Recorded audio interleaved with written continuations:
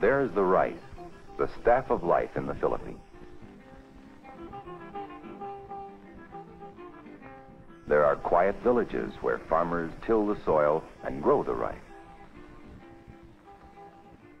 And the lakes and harbors where fishermen tend their nets. There are mountains that rise high out of the sea on almost every island.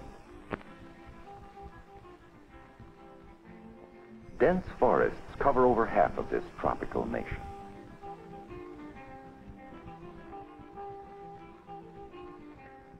There are the rivers to bathe in and to carry the products of the land to the markets in the towns and cities. There is Manila, the capital and pride of the nation, the largest city of the Republic of the Philippines, a nation of about 7,000 islands, most of them small and uninhabited, with a land area nearly the size of California, but with almost twice its population. The geographic proximity to Japan and Red China and the distance from the traditionally friendly United States play a crucial role in the future of the young republic. Of the islands, the largest and most populous is Luzon in the north. In the middle, there are hundreds of smaller islands known as Visayas, and in the south lies the second largest island, Mindanao. These islands became the independent Republic of the Philippines in 1946. Its democratic system of government is patterned largely after that of the United States. To this day, we can see the traces of the almost 400 years of Spanish rule over the Philippines. But even more striking is the more recent influence of the United States. Soon after Magellan discovered the Philippines in the early 1500s, missionaries began converting the Filipinos to Christianity. By the time the United States acquired the islands from Spain in 1898, some 90% of the people were Catholic. The influence of Spain is still seen today, not only in religion, but also in architecture and language.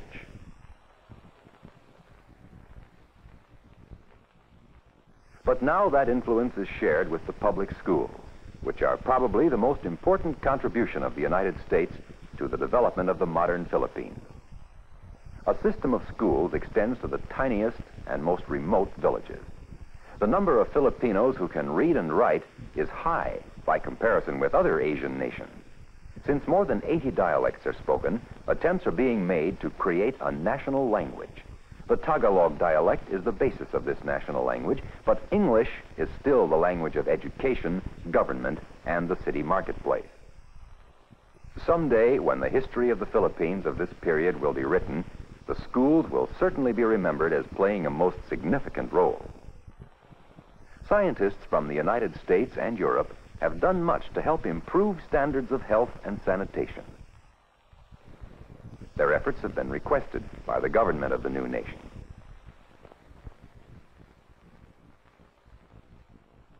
A healthier generation is growing up to enjoy sports that have been brought in by people from other lands.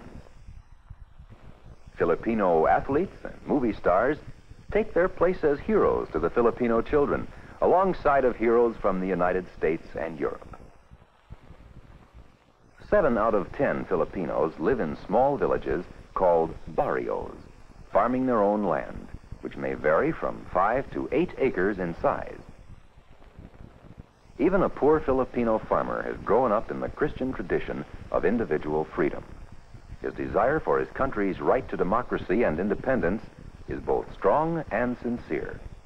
He's now struggling to master the economic responsibilities that go along with political freedom and independence.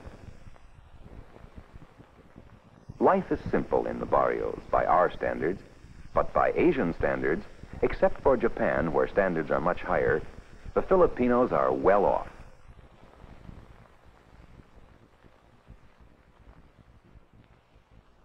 Many live in bamboo houses raised on poles to protect them from the dampness and provide better ventilation in a humid and rainy climate with temperatures in the low 90s a good part of the year. A cow, or much more often a carabao, a pig, and a few chickens are the usual livestock. A single village well usually serves all the people of the village. Rice to the Filipino is what wheat is to us.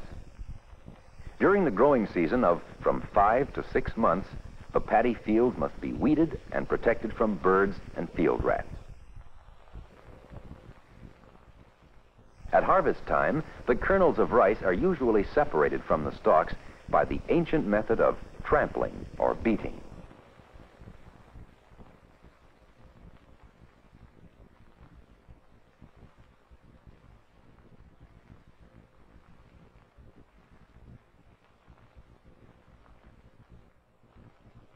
As new roads are built, marketing in the larger towns becomes possible. And trips to the market are always a treat for the children.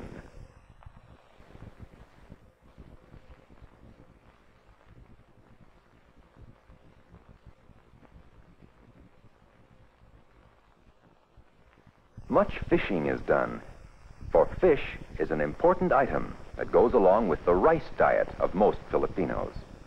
Rice and fish to a Filipino is like meat and bread to us. The fish that is not consumed immediately is dried in the sun for future use.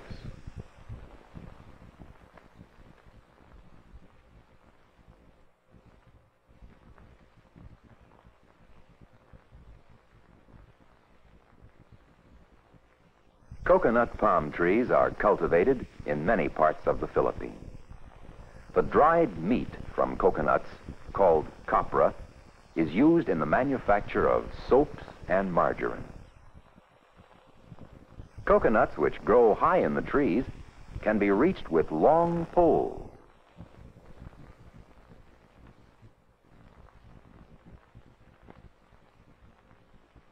More often, skilled pickers climb high to cut them down by the use of a machete.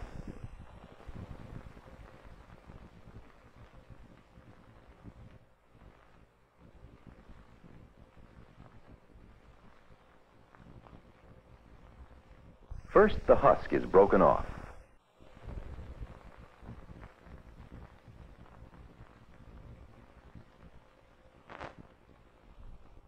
Then, the nut is split open to dry in the sun.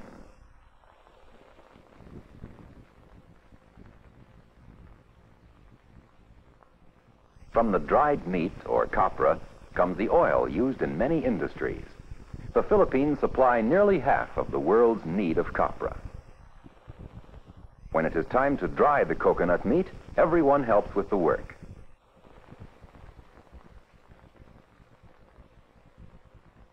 Sugar is another export crop of the Philippines. Sugar is refined from the stalk of the sugar cane. Production methods in sugar cane fields are still traditional, like this slow way of fertilizing.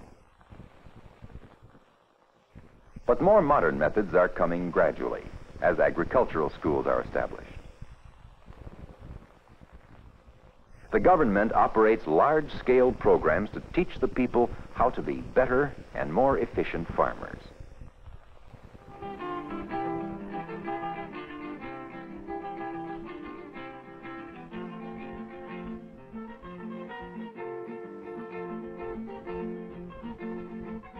Music is an important part of the life of the islands. Many barrios have their own bands. Filipinos seem especially fond of music and make excellent musicians, and they enjoy folk dancing. Here is a visible contrast, traditional dances and modern clothes. The signs of a more prosperous industrial society are beginning to appear as rich mineral resources of gold, chromium, copper, and iron are mined on Luzon and Mindanao. Some refining of ore is done in the islands, but most ores are shipped abroad for processing. Logging is an important industry. There are very large reserves of mahogany, narra, and rosewood.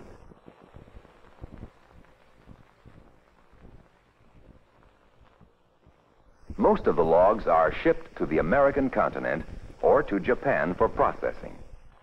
The Filipinos are now building plants in which they will be able to process their own logs. Wherever there is a harbor in the Philippines, hemp is likely to be exported. Nearly all of the world's supply of manila hemp used to make rope is produced in the Philippines. Ships connecting the hundreds of islands all converge on the busy port of Manila with their loads of passengers and goods from the other islands. Manila Harbor is one of the finest in the world. Many of the things which the Philippines buy from other nations enter the islands through Manila. Oil, rubber, and manufactured goods of all kinds are brought in from abroad since they are not as yet manufactured in the Philippines. Because so many things are imported, the Philippines are always faced with the problem of finding enough dollars to pay for them. But gradually, new factories are being built within the nation. Companies from the United States and Europe are helping with the enormous job of industrializing this predominantly agricultural country. Industry is needed to raise the standard of living, which the people of the Philippines need and want badly. Most of the new industrial activity is centered around the city of Manila. There are only a few large cities of which Manila is the social, cultural, and economic center.